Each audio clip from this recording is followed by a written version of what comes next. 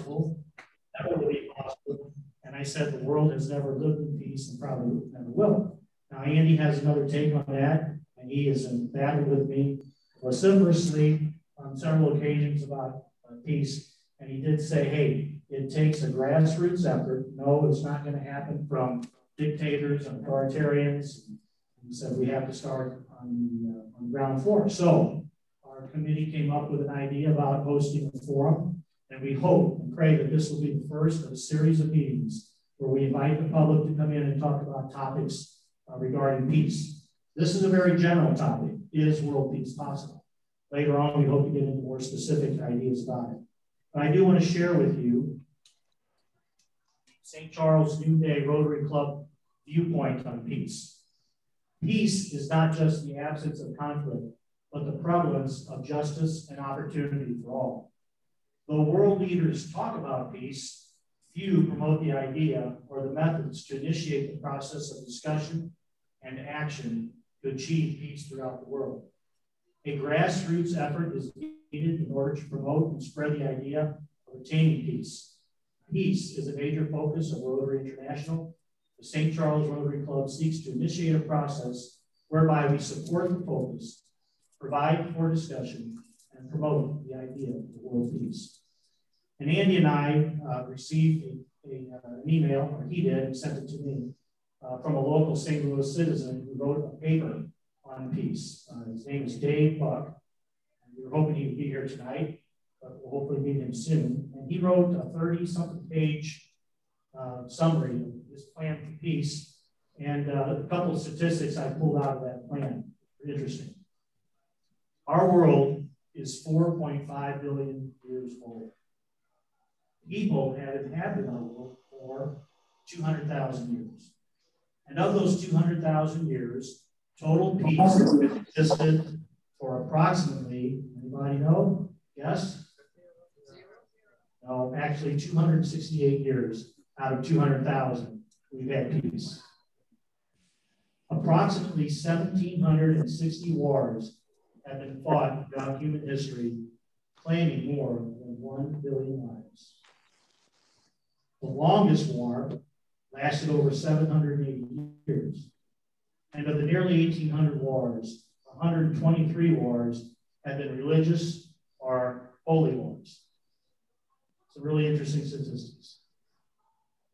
But talking of peace, in a speech by John Kennedy in 1963, the president stated, and I quote, I am here to discuss a topic on which ignorance too often abounds and the truth is too rarely perceived yet it is the most important topic on earth world peace. How true. So I'll, I'll get out of the way here. I'm going to introduce our moderator for tonight, a gentleman who's a member of our club, Mr. John Clark, President and CEO of Masterclock here in St. Charles. John has been running the company for a number of years. He is a world traveler, and he has hosted and moderated events like this before uh, our club sponsors ethics panels, ethics panels over at Lindenwood University, and John does a wonderful job moderating those events. And we're lucky to have him here tonight to do the same. And I'll let him get started with the introductions and get the uh, panelists to talk about their views, and we can have a debate and some questions. So, John, I'll turn it over to you. Let's welcome John. Hello, I'm John Clark, the president and CEO of Masterclock Incorporated. Uh, we manufacture very, very accurate time and frequency solutions right here in St. Charles, Missouri. We export it to over 110 countries around the world. Um, and if we can only figure out what time it is, it's the first good step. I also heard the stat, it is possible, which is not exactly statistically, statistically significant, but we have had peace. So at least we can say, yes, it is possible. It's possible. Uh, so we can do it again. Uh, what I wanted to do is just introduce all the panelists real quick. Uh, just say who you are, uh, you know, what you do, what you represent, and uh, why you chose to kind of be on this panel. Uh, so Andy, we'll start with you. Can you hear me okay? Yeah. I'm Andy McKean. I reason I, I got involved with this is a couple of fold. I was a Peace Corps volunteer. I spent five years in Africa, traveling across. I was a teacher, I was a coach, and I just loved Africa and I loved African people. But I, I didn't like the governance. I didn't like the corruption. I didn't like the fighting. So I, I, my friends used to beg me to bring them to America so they'd have the opportunity that we have. And I came to realize it can't be just in America. There's got to be other places that have to have opportunity and hope to have a better life. One of the reasons I'm so focused on this is my brother's wife was Hungarian. She escaped to a minefield in 1956 when the Russian tanks invaded Budapest to squelch the Hungarian Revolution. My other brother's wife is from Seoul, South Korea, and her family escaped South Korea during the Korean War in the early 50s when the North Koreans invaded the South. So we're talking about wars. We're, Homo sapiens means wise man. We should be able to figure out how wise men and women, women included in that, and really work together for peace. So that's kind of my introduction. Sounds good. Um, hello, everyone. My name is um, so yes, my name is Fahima Bandali. I'm a sophomore at City University, and my major is political science with a minor in international relations. And also the fact that I'm here on this panel is because I was born and raised in Kabul, Afghanistan.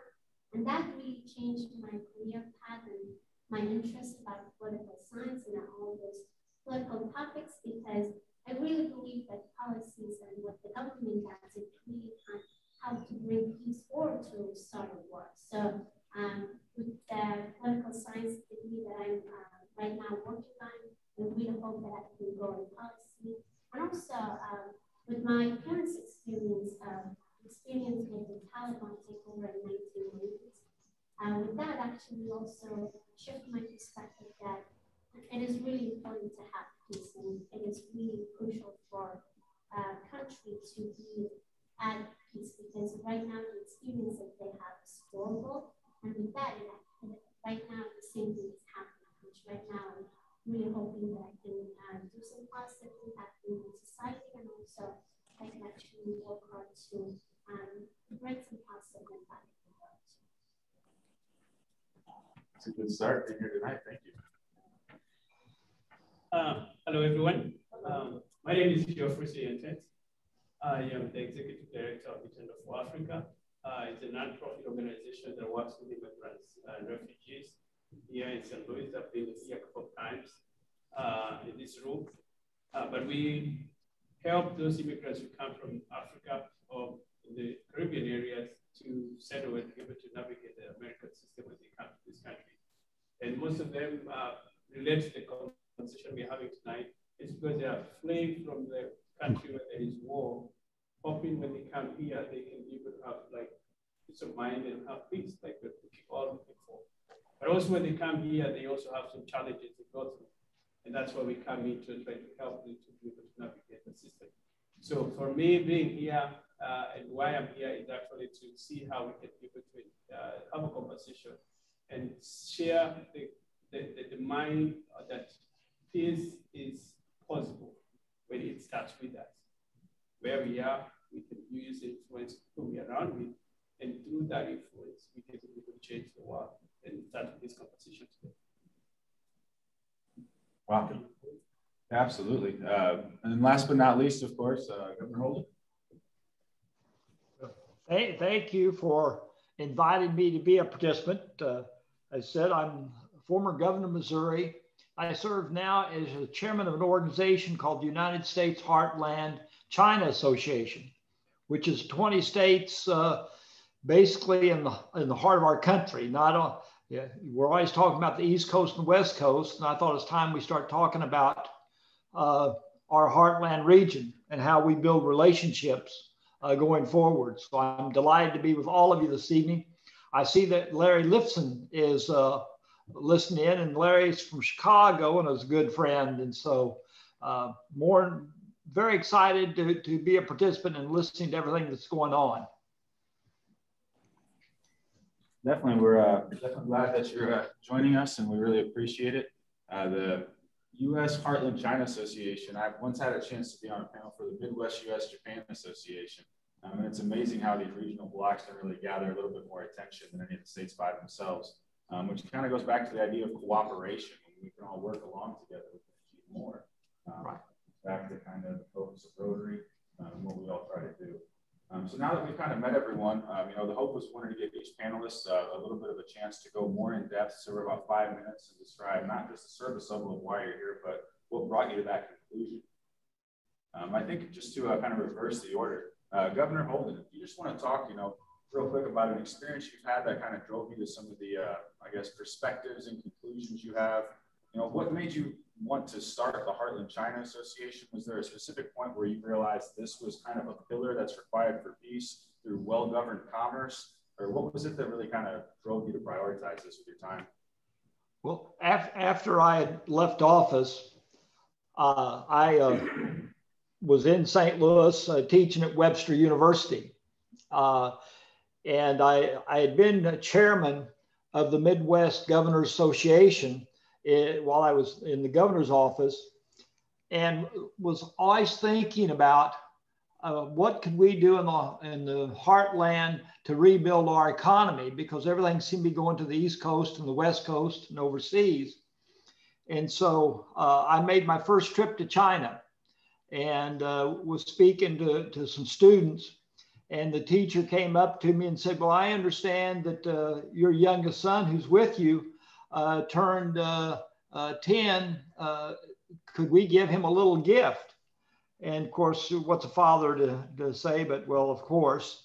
And so, one at a time, these students came up and presented him with a little gift. And I turned to my wife and, and I said, I can work with these people. Uh, and so that's how I got started. And I've been active in the American Legion Missouri Boys State and Girls State program for over 40 years. And we set up a program a few years ago to send students from Boys State and Girls State to China for a week to learn more about uh, China and inviting students from China to come uh, and participate in our program.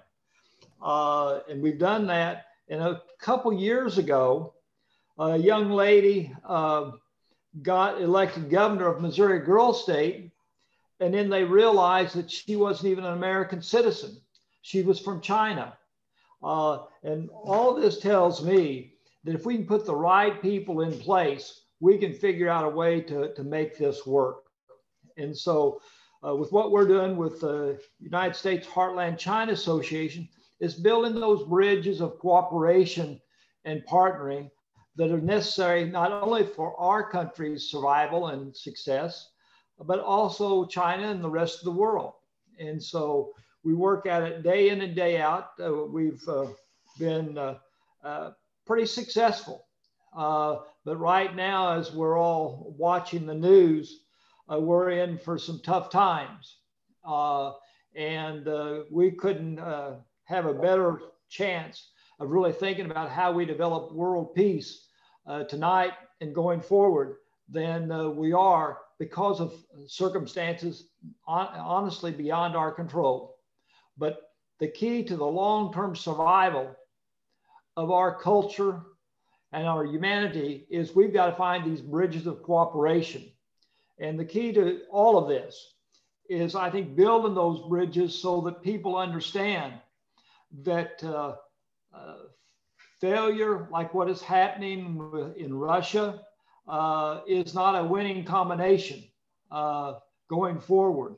Uh, and so if we build these bridges through the Rotary organization, many other international clubs, everybody doing their part to lay a foundation so this, this can be successful. It can be done. It, it can be done, but you're not going to be successful if you try to put people up against the wall and, and tell them to, to cry uncle, uh, they've got to show that they've got to change how they do business, and that change can be more successful than what they've done in the past. And so that's what we're trying to do in our effort is to build those bridges. And we, we started about two years ago uh, with the idea. Uh, now we've got over 7,000 people from around the world that are participating in what, what we're doing. And what's fascinating about all of this is about a third of the people that participated in one of our programs come from the United States. A third come from our heartland region, our 20 states that I talked about, and a third come from China. So that gives us the opportunity to continue to build out. and that, that's what we're doing. Uh, I really appreciate the Rotary Club and your effort because that is so extremely important uh, as we move forward because we've got to build these bridges of understanding and build relationships where they can see they can be more successful in a safer environment by making the changes that you're talking about and wanting to, to achieve than what we're seeing watching seeing today in uh, Europe and Asia and Africa and other places around the world.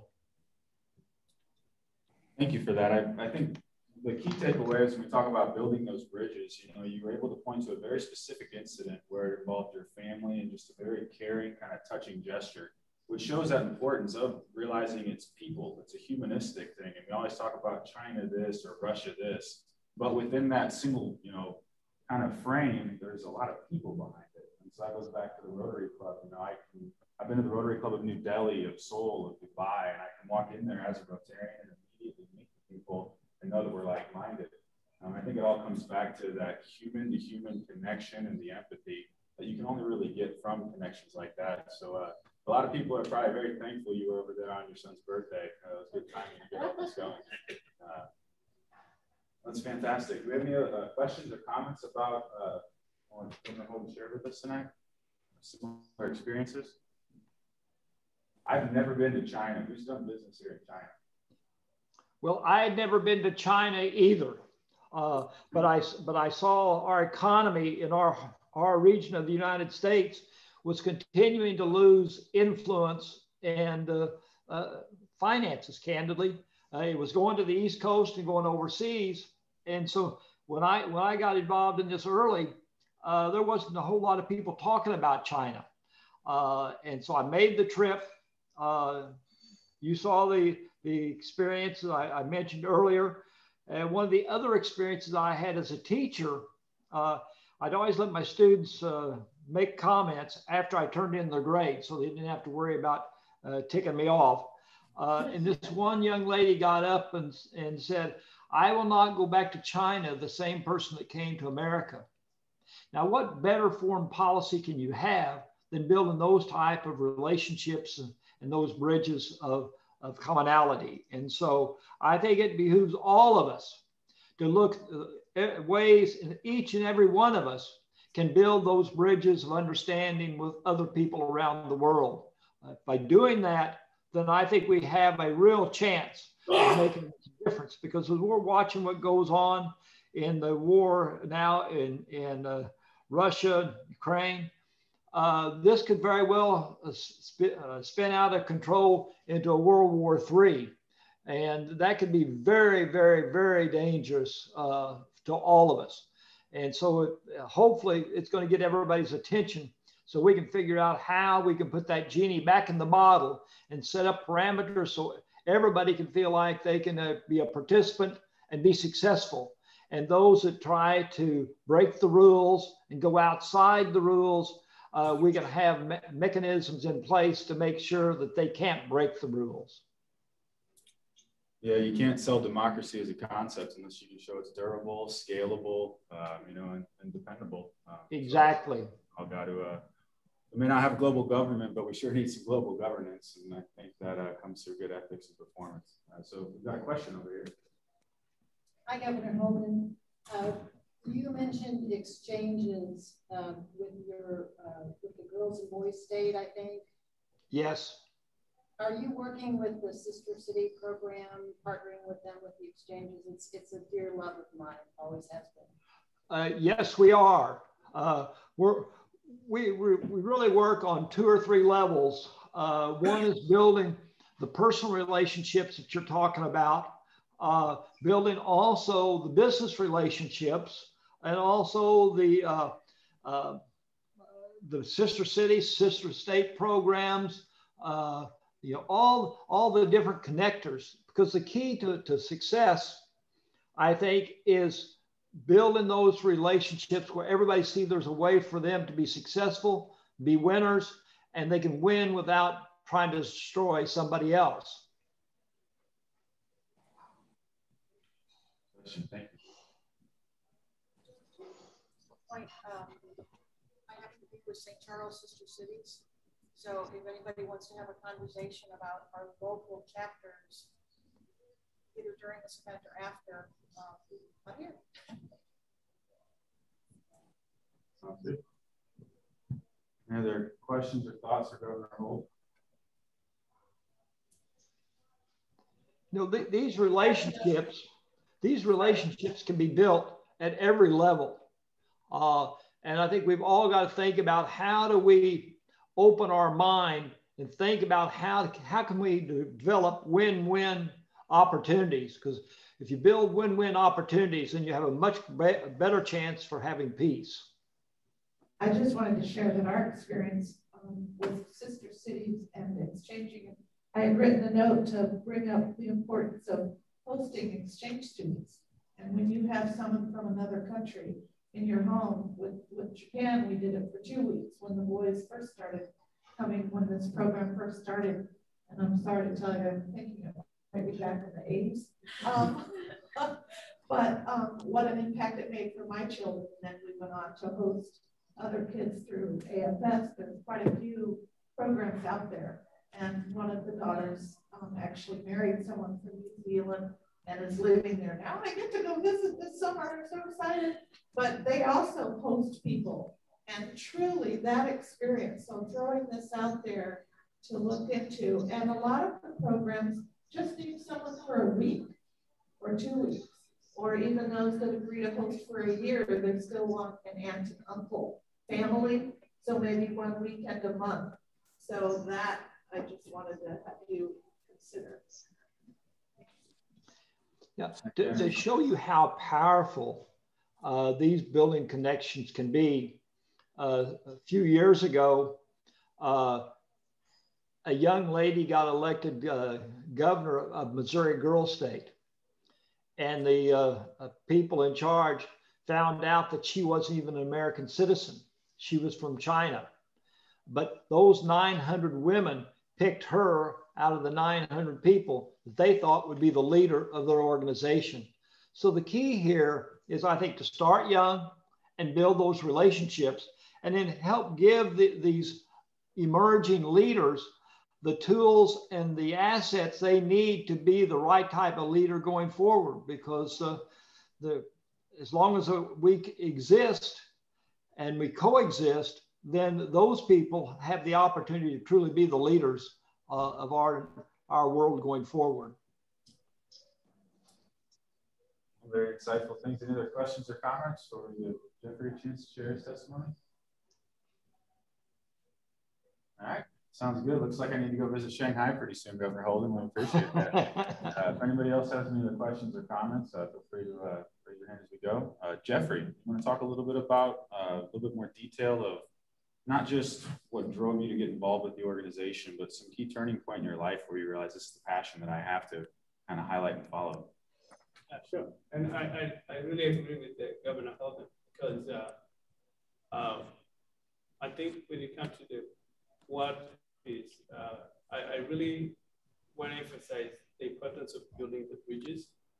And uh, when you talk about bridges, sometimes you always see it as a big thing that has to be done by the government. But I bring up, it goes back to what uh, she just mentioned about how being, being involved in AFS, being involved in the Sister Cities program. Uh, and we, before we started meeting, we, we had a conversation about uh, American Peace Corps volunteers. And uh, every time I go and I meet somebody who has been out of the country, uh, or maybe has volunteered out of the country, the conversation is always different because this person has exposed themselves to different culture, they've learned a lot.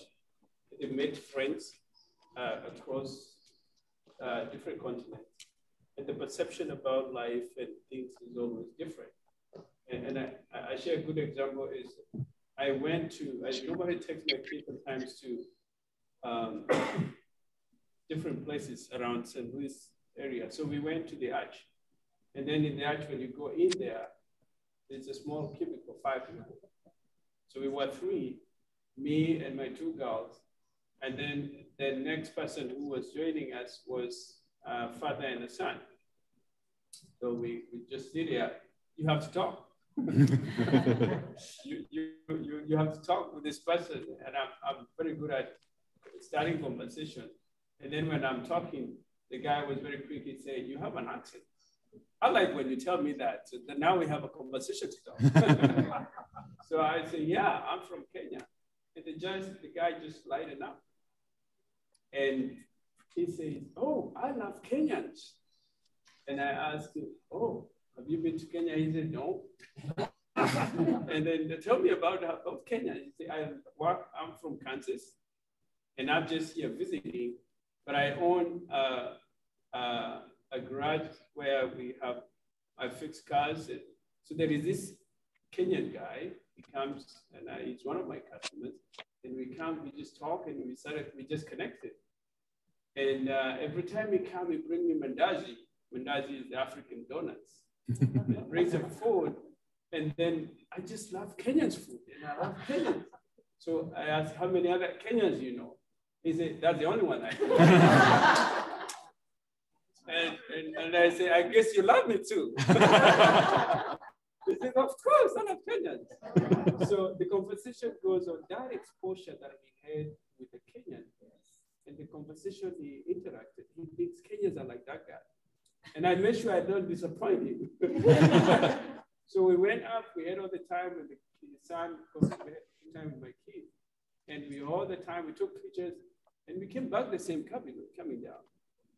But what I'm trying to say is that the exposure that people build up, and every time I'm thinking, I was thinking about that guy, every time he will read the news and hear something about Kenya, the first person coming to his mind is his friend. And maybe myself when we met, because I was maybe the second Kenyan, or anybody he meets, not from, not from Kenya, but from Africa, he would think about you're talking about my friend. When you're talking about hatred and all this stuff, the first person to come in is the person that you connected with. And I've always seen life like that. Every time I meet with people, and I get excited when I hear somebody when he's telling me it's been a Peace Corps volunteer. I want to know where they come from. And they'll tell me the experience that they had in, in Congo, the experience in Zanzibar, so the conversation is always about the personal connection, the person you interact with. And if anything that somebody talks about it, you feel like you're really attacking a friend that I know. I've always said that building that, the way to build world peace, I would say, is being intentional and be able to get out of the stereotypes and you have to connect at least with one person. You get one person, make it two You get another person, make it three. If you have a way to travel, travel. Uh, don't believe too much on what you watch on the news. I always say building that connection makes a big difference. Because if you are watching a movie, like there's a documentary that has been shared, been shared that was done here in St. Louis about immigrants. It's called uh, One, uh, I don't remember the name, but it, just seeing that documentary, and you hear, hear the real story of an immigrant, the real story of refugees, and, and now the story or the impact they're doing in this region, your perception about immigrants and refugees changes because you have had a story, a version of immigrants that you know, or you have had a version of Africans war in whatever country it is in a different way than you had it before. So I think uh, my passion about building relationship and building those peace in the country, I've always said, how do I build peace with the people that around me? And how do I influence that person that I meet every day to see me as a different person, to see me as one person who has, has some value to bring in their, in their life or whatever it is. I think we have to be intentional to see things not what you've been told, what the news tells you about, but going out and finding things for yourself, talking to people, interacting with people. When I'm here, I, I go to very, I make sure that I have somebody that I can connect, and if possible, have a follow-up. We can have a coffee. It could be a stranger, whatever it is, but I just want to know how good am I to be able to interact and make peace, a small world peace with a few people that I interact Very insightful. I still, my takeaway was donuts. Uh, let's get some moving with the piece. Ozzy, come on. the right word. Yeah. Uh, yeah, so again, it just goes back to the person to person connection. It also reminds us, like, to a lot of people, you know, if you do go overseas, a lot of people will look at me and say, oh, well, you are an American and you are the American that I know. So I'm kind of representative of it. Um, one thing that I think is interesting, we do a lot of trade shows, and our uh, director of international sales, uh, Ramiro Benitez, is from Ecuador. Uh, he's in his early 80s. And we'll go overseas and we'll be somewhere, and they'll say, they'll point to me and say, Well, you're an American. They'll say, What about you? And I always kind of laugh. I'm like, You know, he's been an American longer than I have. I kind of laugh. And we also point out that he was an immigrant. He's an American by choice. I'm an American by chance. So who's more conscious and intentional? If that's what we're talking about for finding peace. Um, so yeah, just can't bring the stereotypes in, and also remember you could be representing, you know, an entire people when you meet somebody. Uh, so no pressure. do well. Any comments? I took the Uber. Don't forget to check my account. So you had a few drinks? And, uh, and I was a manager at the Alumni Center there for a while. We host international events. And I always felt it amazing when you got to learn, like you're talking about the cultures and uh, traditions and so forth. So I was always excited about any chance I had to learn about people in another country that I may never see. And also to have them talk about their experience with Americans. And, oh my gosh, we were kind of like all over the place because we have so many people who've immigrated here. And so there are tons of traditions in the United States as opposed to what you heard about in other countries. So it's so important to keep your eyes and ears open because you learn. We're all people, we're all moms and dads and brothers and sisters and so forth. We're, we're all actually the same. So if you get the opportunity to learn the, their experiences and so forth, it makes the world feel smaller, not I agree. Experience is the driver. Dave. I, I, think I think what both you are saying is exactly right. Is, the, the road to, to world peace is to be you know the best representation of who you are. Uh, and so yes, you, you represent uh, Kenya and the people from China, you know, represent uh, China. And myself as uh, someone who's Jewish, you know, I represent uh, the Jewish people. And so it's very important that, you know, that I, I put my best foot forward because, you know, when someone thinks, if they know that I'm Jewish, then that's how they're going to judge other uh, Jewish uh, people. Um, and it's so true so yes, we have to be great representation of whoever we are. Absolutely. Represent well, Well, thank you. I like just now. thank you.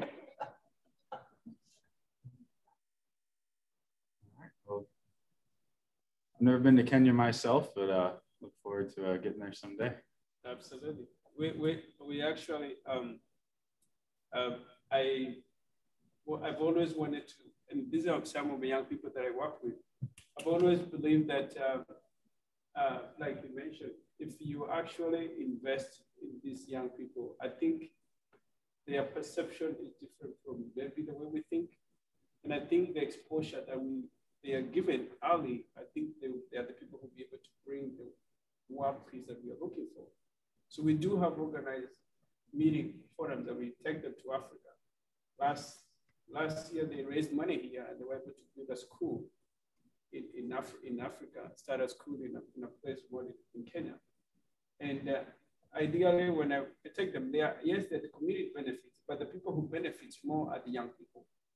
Because when they go there, they see things in a different way, the perception of our life, and the things we take for granted when here is different. We see a lot of things we take it for granted. But when they go there, and they see them doing that small things, how much it makes impact it has on the life of those kids and maybe the generation to come because of the exposure to education. I believe that when they come back, they see this in a different way. And in the next 10, 20 years from now, uh, they will be people who are in the senior position, the, the governor, will be the Senate, and the decision that they will be make will be based off what they have experienced over years. And there is no way that somebody will be making a very biased decision about or something that it would affect somebody when they have that connections. And, and I think that's what I really get excited when I hear about EFS program. Because last week, actually, I was, two weeks ago, we were actually at uh, Jonesboro High School. And they have a great program. Right now, they have two students from Africa.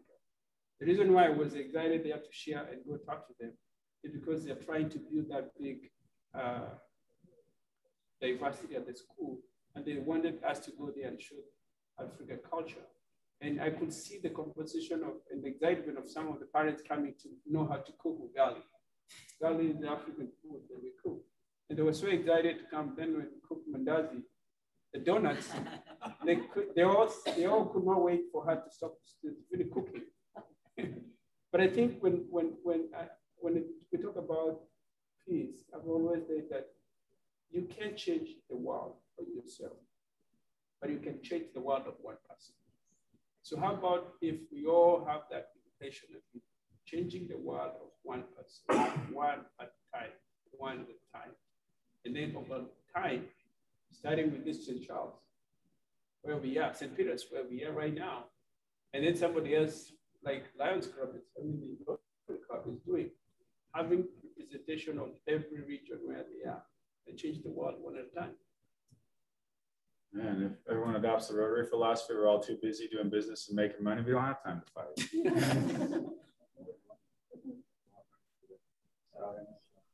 you know, Larry Lifson might have some ideas because he travels, his job goes all over the world.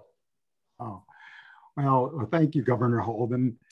Um, yeah, I mean, I, I, am really concerned with world peace. I have traveled to many countries. Um, I do believe as you do that building culture, uh, cultural understanding and exchange is really important.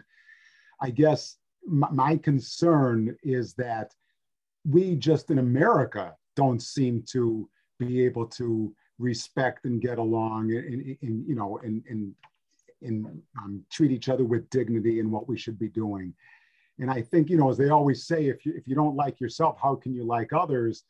I think it's an issue that we really have to face is, um, is how do we make this prevalent? I know I'm speaking in, in big pictures and, and maybe very vaguely, but, but I just think as, as human beings, we need to figure out why after thousands of years, we still can't figure it out.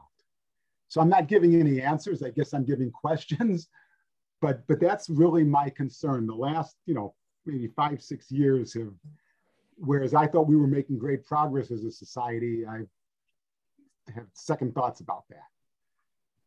So I'm sorry to be negative, um, and I and I am optimistic. I'm a very optimistic person. I just want to say that, um, and I and I believe the work that all of us here are doing is helpful.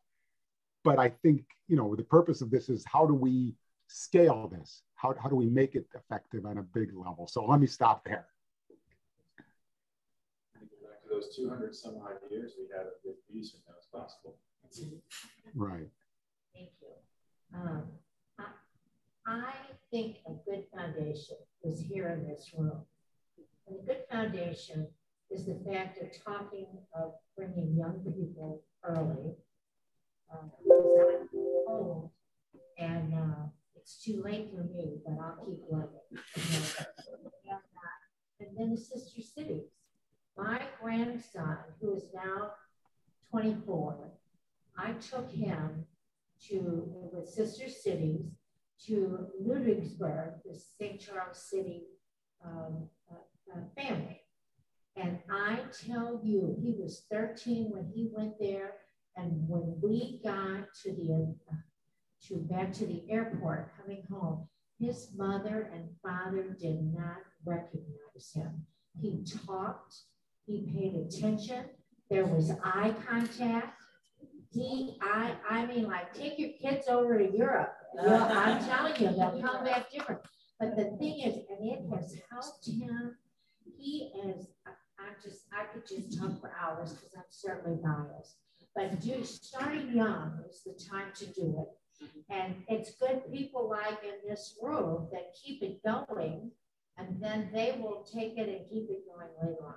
And I thank you for Rotary Club, which of which I'm a member. And um, I, I think it's a wonderful uh, direction we're going. I, I was like uh, Dan, uh, President Dan, you know, I think until we started talking about this, I just didn't think it was going to be something that could be done, but I think it is doable, but oh, it sure ain't easy.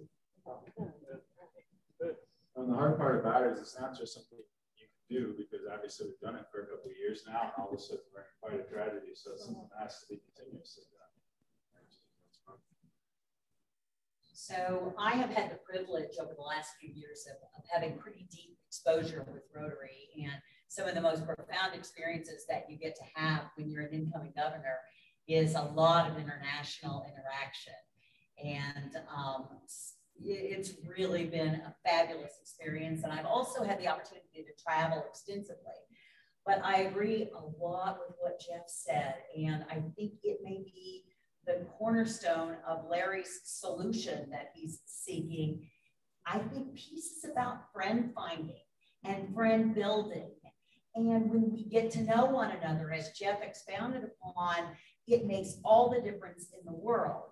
And I think tonight we're talking about world peace, which is drawing us into international uh, diversity. But there's a lot of diversity among us sitting right here in this room. And we can, um, one of the priorities of Rotary over this next few years is really helping people to appreciate one another, whether you're male or female, black or white or yellow or pink, or you speak this language or that language, or you're urban or you're rural. I'm a farm wife. I know I have to I really have to represent well, right? uh, among other things. So there are just, you know, diversity is, is, is such a hot button for us. But really, um, as was mentioned, we, we all can find something that we have in common when our hearts are in the right place. So um, Andy called me uh, because he knew that I was going to have the opportunity to lead the district this next year. Um, in February, he said, "Hey, um, did you have you ever heard of the United Nations World Day of Peace?" And I said, "No, I have not." and so he began to educate me, and then he talked to me about the initiatives of the United Nations in identifying one day in the world, September 21st, when um, ideally, it's the, the big picture idea um, is that there would be a ceasefire and there would be one day in the year when there would be no war in the whole world. In this district of Rotary, in District 6060, we are going to invite our Rotaract clubs, our Interact clubs, which are our high school based Rotary service organizations. We're going to invite all of our clubs. We have 51 of them throughout this district to all consider a, a peace project that would happen on September 21st. And if Rose Cooper, who is leading this charge for us, who's a past district governor and a member of the Rotary Club of St. Louis, if we are successful in fostering a lot of energy around peace projects, which could be anti-bullying, they could be planting a tree, it could be things that bring people together in your community, um, we can get a lot of media attention. And Andy knew this because he thinks in big pictures and that tidal wave of insight and inspiration that can flow from our Rotary District from Hannibal to Cape, which is a really small part of, of Missouri, can actually begin to have the ripple um, that I think was originally imagined. And it's really just about each of us being peace builders and friend finders and building those better friendships, which is a part of the Rotary four-way test. So exciting things. Thank you so much for doing this to catalyze all this kind of work. And just to follow up on that briefly, when you say friend finders, I work with international students, and one of the most gratifying parts of what I do is when these students come over with preconceived notions about certain groups, and then they find out that they're, you know, they're, they have those groups and their classmates, you know, as classmates are on the teams they play on, and it changes them totally, right? They they understand we're all human beings, we're all the same, we all have the same desires and wishes, and then ideally they go back to their country and and you know make the change viral but it is but your point of yes making friends whatever i think can go a long way kind of the do your piece for peace campaign yeah. yeah.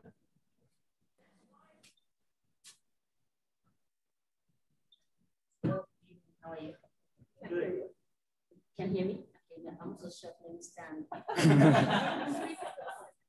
yeah. Um, well, this is a very good forum, and uh, I want to echo. Um, I want to echo my friend Jeff.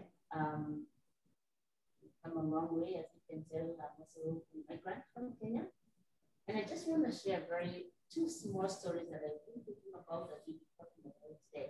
I moved to St. Charles. Um, I lived in St. Charles uh, about uh, seven years ago.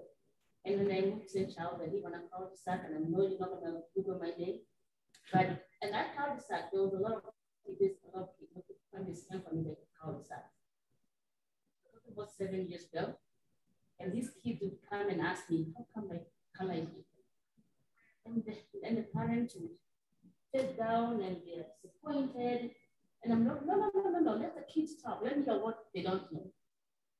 Cut the story short.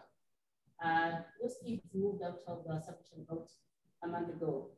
And it is sad because we made such a relationship with them. I was the, the, the, the um, watermelon supplier of, this, of, of, of, the, of the kids. They'll see my car, they'll come round and they'll come round and we made a very, very good relationship with them because I, I took upon, I was following up on the one intentional. I took upon myself, said, kids don't know, they have not been exposed if I don't teach them or I shy away, they will never know. So Dad, now, you playing? They've left a very good impression.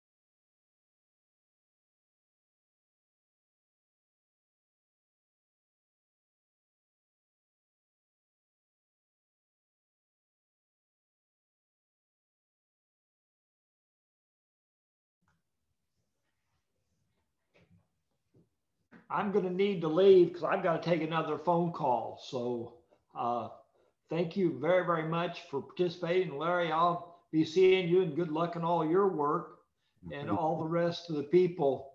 Uh, uh, you're, you're involved in a good cause that desperately needs all of us involved. So thank you very, very much. Thank you, Governor Holden.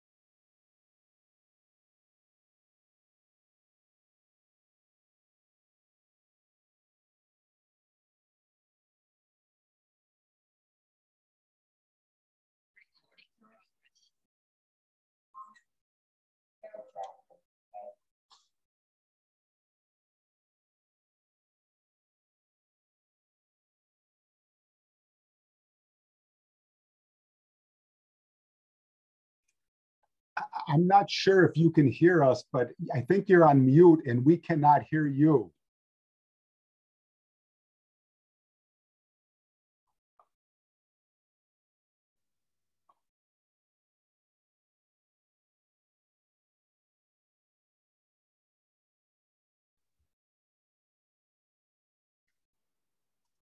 Can anybody hear me? We think that the speakers are on mute and we cannot hear you.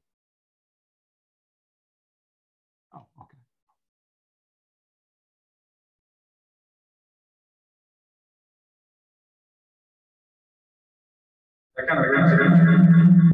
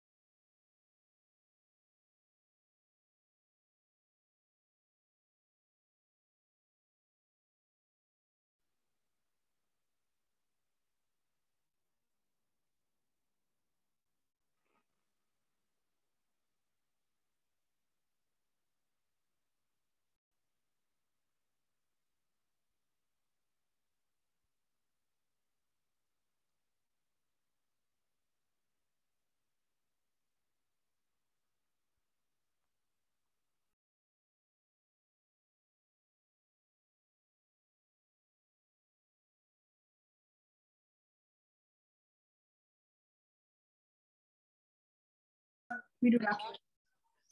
Mom. United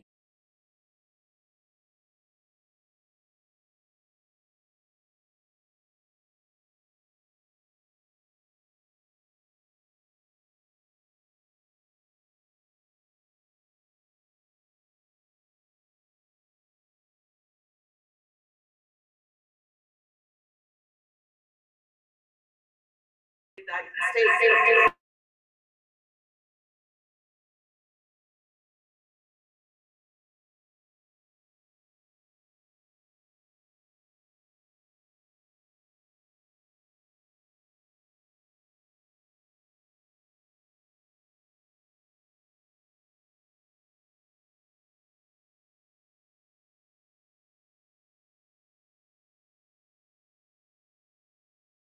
Doing it digitally. All right, how are we doing now? Yes, we can hear you now. Will they have to reconnect? The others have to sign it all over again. We can continue. You guys can continue. They can hear you. Can't blame Ron for this one. I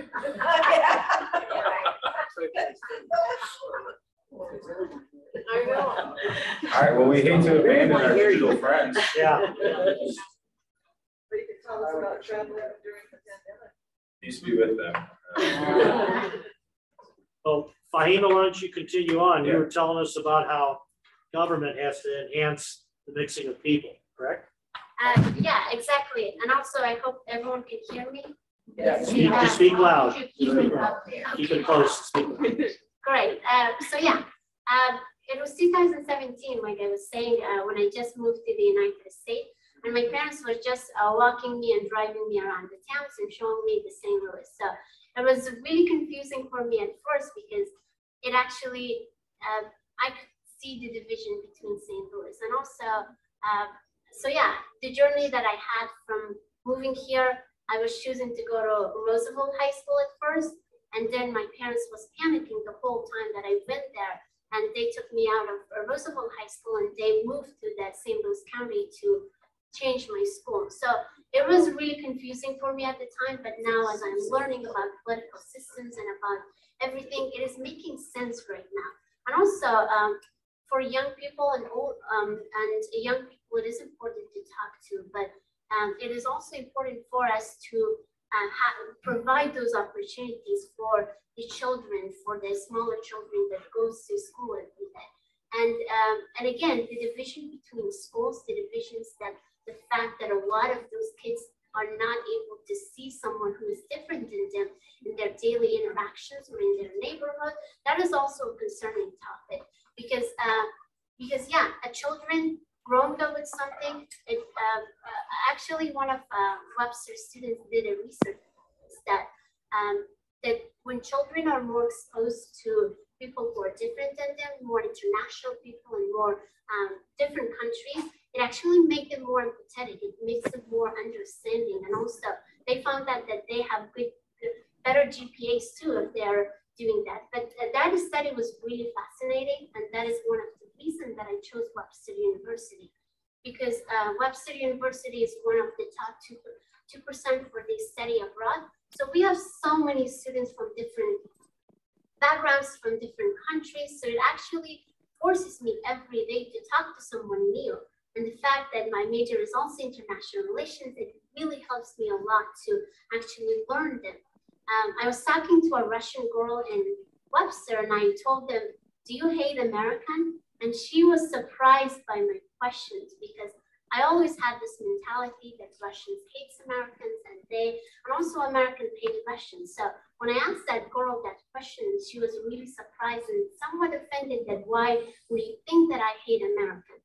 Uh, and I just said, I don't know. That is how media introduced to me that a lot of uh, a lot of Russian hates American. And she said, no. Even when I was living in Russia, I had American sweatshirts, I had American uh, hats and everything. So no, so that was a really surprising uh, information for me to find out that the fact that it is not does that it is not the same thing as I taught. So it actually presents the idea that the one story danger because um, a lot of social media they present you just one story about a country.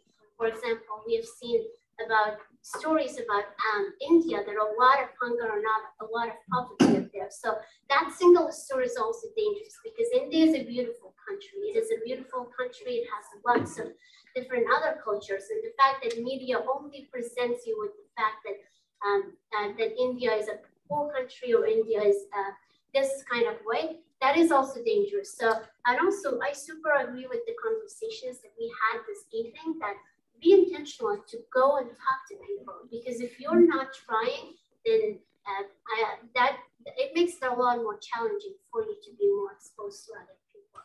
Um, so yeah, I'm super grateful to have that opportunity to have different people who have different experiences, different backgrounds than me that I can have daily conversations with them.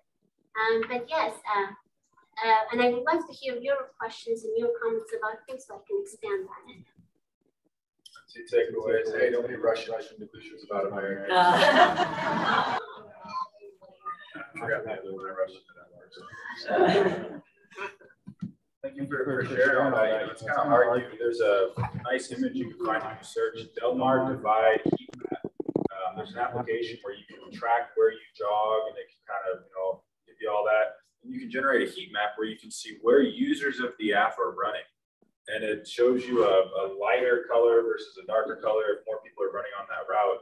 And when you look down Delmar, it's bright yellow. Everyone's running on Delmar. If you look south, it's extremely, you can see people running there all the time. And it is just pitch black if you go north. And it's an extremely stark reminder what is the Delmar divide. So when we sit here, as we said, we preach inclusivity, we preach diversity, and we do all this, then you cannot escape that vision when you come here and you're confused um, how do you uh, practice what you teach a little bit? You know, I think, you uh, fundamental. Uh, very good points. All right. So I think I think the point of uh, getting young people involved is a, is a great point. And uh, we're, uh, I guess as a began, you were talking about how most of the wars in the world have actually been religious wars. Uh, and uh, so what we need to do is we need to have, you know, interfaith groups uh, of young people uh, so that so that people know that even though they're different, they're still the same. And there was a, a group uh, back in uh, 2015, 2016. I don't think it's still uh, it's still a, a group anymore, Burbank that's called. And it was actually uh, Muslim, Jewish, and Christian kids would uh, get together and uh, they would actually uh, learn about how their similarities or differences. And uh, as those kids grow, hopefully they'll learn that even though they're different, they're the same. That's the other thing we say, hopefully. Hope's not a good strategy. We need to get these kids across borders and help them start eating each other's food. So I just have to mention, you talked about the interfaith um, connection. I was at the International Assembly, and one of the people in one of the groups that I was in was the, the person who is my counterpart in Israel. And there's one district in Israel, and his aspiration around building world peace and lifting up to the equity and inclusion is all apparently all Rotary clubs in Israel are, are exclusively Jewish. And he said, you know, there are a lot of Palestinians who live in our neighborhoods. And so his, his effort is going to be to be intentional to invite Palestinians into Rotary and to have interfaith clubs. And I'm sitting there listening to this and I'm like, oh my gosh, talk about the World Peace Initiative. That's one person at a time, inviting people into groups um, and beginning to build friendships because we share a country and we share a community. Uh, so I, I, anyway, that was, a, was a great idea. Kind of on that note, I the Rotary Club of Munich, club I went to was an all men's club. And there was one woman who was part of a club across town, and she was a visiting Rotarian every week.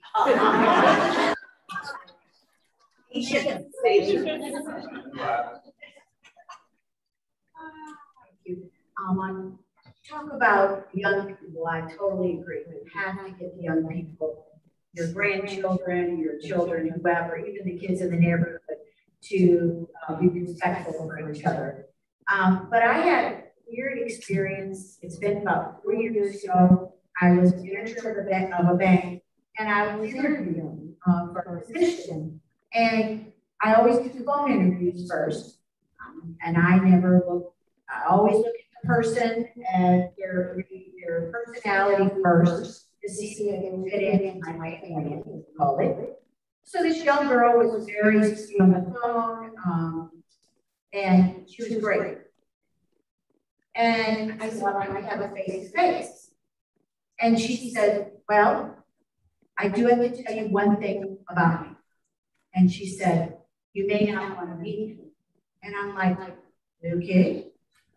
And I said, I, don't think so. I said, what's the problem? I said, have you been in jail? Said, you haven't been in jail. Even if you've been in jail, you're okay. I can still hire you. And um, she said, no, I am, um, and I'm probably getting really wrong. She's part of um, uh, Latter-day Saints. I forget the name of it. And I said, okay. And what is the problem? Well, I've been on three interviews, and as soon as I said that I am, that was my religion, they told me they didn't want me to hire me. Wow. and I, most of the people in my Rotary Club knows me. I'm very open, and I said, I'm not shy. sorry. And um, I said, well, I'm sorry. I said, I still want to interview you. And so then I'm thinking to myself, I don't think, I've never asked anybody what your religion is.